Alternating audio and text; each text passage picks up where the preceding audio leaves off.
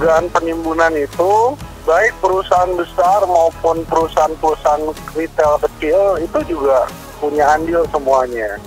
Jadi tidak menutup kemungkinan pemain besar di belakang ini semua ada. Selama ini ya, kalau dilihat dari produsen minyak goreng itu mereka menguasai lebih dari 40% pasar hanya dikuasai empat pelaku usaha yang paling besar. Penindakan uh, dari pemerintah untuk pelaku penimbunan skala kecil itu keras sekali dan begitu.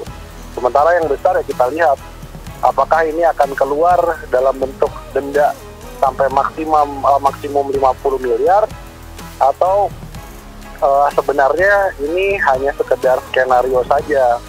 Uh, saya kira penting untuk melakukan break up. Break up ini adalah memecah perusahaan-perusahaan kelapa sawit atau menjual sahamnya sehingga tidak terlalu dominan empat pemain besar ini.